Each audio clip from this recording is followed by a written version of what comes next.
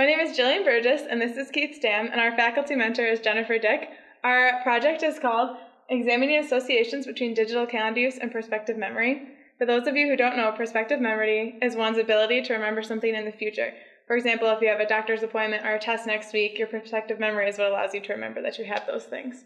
So it's been researched a lot, and it's a known fact that our perspective memory is very bad. We as humans are not good at remembering what to do in the future.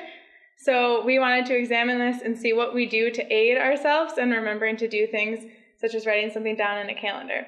So we decided to look at the use of digital calendars versus paper calendars and to see what we were using more as students since it's the digital age. We also wanted to compare this to conscientiousness, busyness, routine, and punctuality.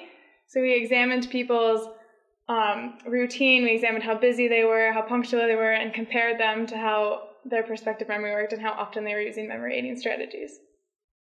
And so what we did with those different um, personality measures is what we did was we surveyed over 200 students here on SUNY Fredonia's campus, and we measured their uh, digital calendar use, their paper calendar use, other memory aiding strategies, along with their punctuality, how busy they are, how conscientious they are, and how likely they are to stick to routine. So what we found um, in our survey was that we found a strong correlation between poor prospective memory and memory aiding strategy use. So these individuals that had poor prospective memory or reported having poor prospective memory, they actually used more memory aiding strategies to help them remember to do something in the future.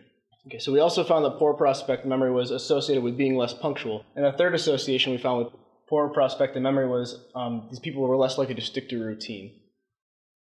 And uh, some more correlations that we found in our research was that there were higher scores of conscientiousness were associated with um, higher use of a routine, also associated with better prospective memory, and also were associated with uh, better punctuality. We also found there was an association between high uh, consciousness and, and um, better punctuality with the individuals that did our research.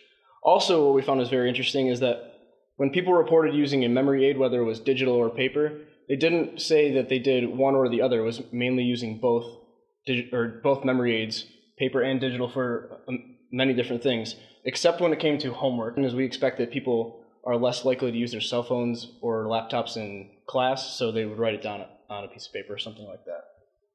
So the reason why we did this whole research project is because we want to figure out why people's prospective memory is so poor and ways to improve that. So we proposed that research, more research is needed to determine why certain types of memory aids would be more effective, why some would be worse, and if there is any way to um, improve digital applications in the future to improve um, people's memory.